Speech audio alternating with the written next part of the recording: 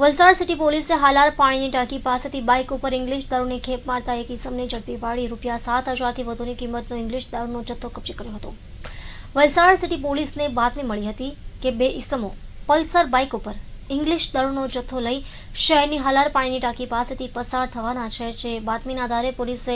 હાલાર ટાંકી પાસે વોચ ગોઠવી બાઇક ઉપર ઇંગ્લિશ દારૂની ખેપ મારતા ખેપિયા સુનિલ ઉર્ફે યોગી વર્માની ધરપકડ કરી હતી, જ્યારે આ ગુનામાં મનીષ ઉર્ફે ગોટુ નરેશ પટેલને વોન્ટેડ જાહેર કર્યો હતો.